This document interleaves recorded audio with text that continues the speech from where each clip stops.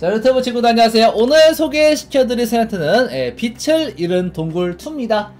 여기 같은 경우는 6명의 파티원 중에서 이제 3명의 나무꾼과 3명의 이제 딜러들을 구해서 사냥을 하는 좀 까다로운 방식의 사냥터인데 오늘은 여기서 솔플 하는 방법을 알려드릴 예정입니다. 일단 경험치는 5분의 2만 먹고요. 요람 같은 경우는 2.5만을 먹지만 이거에 대한 또 장점과 단점이 있습니다 바로 장점은 와일드 카고라 몬스터가 나오는데 이 친구 같은 경우는 드라템이 진짜 많습니다. 흑수정 개당 최소 5천원 이상 블러드 기간틱 네 정업 기준 300만원 걷다 내리시다 보면은 금의 원석도 달달하고요. 그리고 좀 더 내리시다 보면은 네, 완드마력 주문서도 나오고요. 그리고 방청극, 손즈 그리고 토비 표창 이렇게 훨씬 더 득템 같은 경우는 다양하게 나옵니다. 그래서 아마 슬리피 던전급으로 예, 좋다고 보시면 될 것 같고요. 여기에 간단한 빌드를 일단 우선 보여드릴게요. 이게 사냥터가 왼쪽 갔다 오른쪽 갔다 하면 이제 상당히 길이 멀단 말이죠. 그래서 오늘은 이제 빌드까지 보여드릴 건데 일단 기본적으로 자, 왼쪽 오른쪽 정하시고 내려가시면 됩니다. 일단 왼쪽부터 가볼게요. 그러면은 일단 오는 길에 있는 몬스터는 예, 전부 다 잡아주기보다는 이 세비지 블로우에 팔이 닿는 그 정도 길이까지만 제거를 해주시면 됩니다. 어차피 썰풀 같은 경우 몬스터가 넘쳐나가지고 이런 식으로 최대한 손 닿는 거리만. 나한테 오는 애들은 이제 좀 썰어주면 좋겠죠? 그 다음에 이제 왼쪽 올라가겠지만 안 갑니다. 여기서 비밀 포탈이 올 건데 잡고. 자, 이 해골을 향해서 점프하시면은 예, 첫 번째 비밀 포탈 이용할 수 있고요.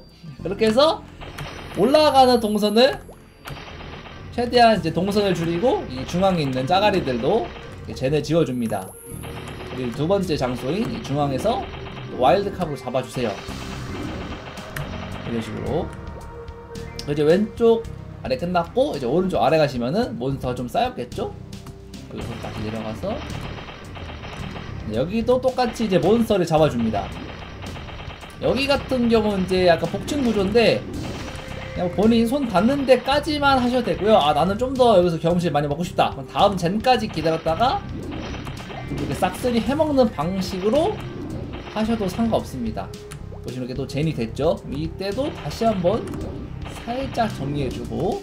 다시 이제 왼쪽으로 가야겠네? 근데 너무 멀잖아. 여기서 또 이제 두 번째 비밀 포탈이 있어요. 바로 이곳에서 점프를 하시면은 이렇게 비밀 포탈이 이용 가능합니다. 그리고 슈퍼 점프 같은 거 해주면서 이동.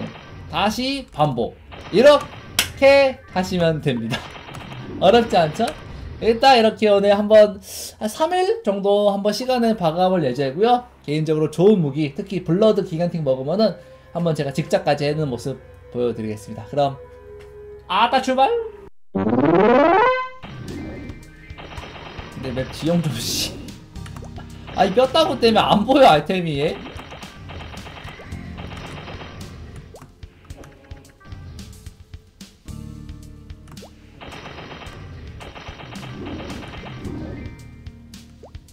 봐봐. 그린 하프 슛, 슛을 던지지 못 봤잖아. 이런 식으로. 한 번 더 해보자 막다. 오오오 봐봐! 오 고드름! 오 맛있어. 아싸. 대충 650 잡으면 되는 거 아니야? 오 뭐야? 오 이거 뭐예요? 오리알콘 카메부츠? 이건 처음 보는데?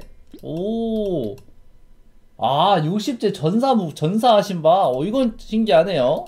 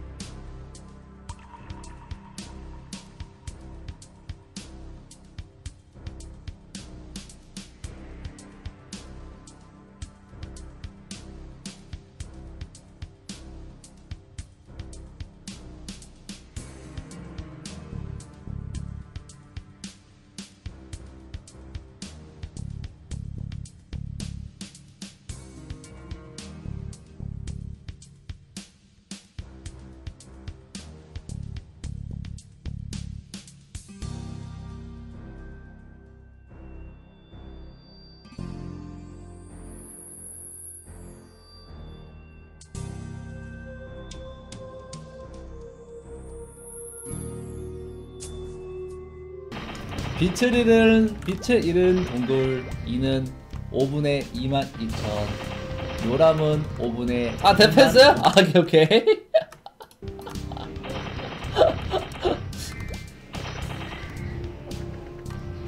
도와주세요. 뭐야 니는 아 오케이. 야야 야, 해줄게 나가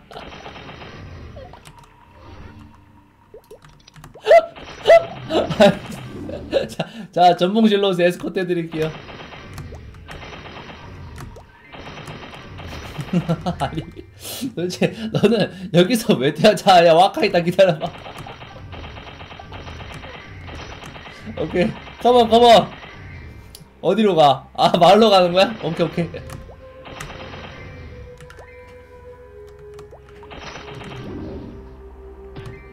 와 컴온 컴온 나왔어 BJ 방송에. 나오자 아, 너너. 질매 형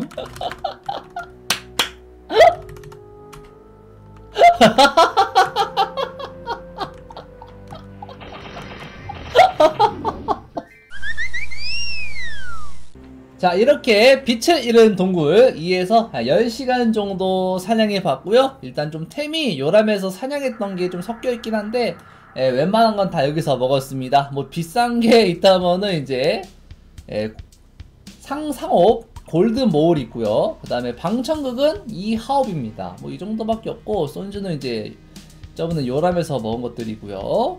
그 다음에 이제 오리알콘 카멜 부츠 이게 135이라 가지고 뭐 디코 거래 기준으로 30에서 50 정도 합니다. 나머지는 뭐 비싼 거 없네요.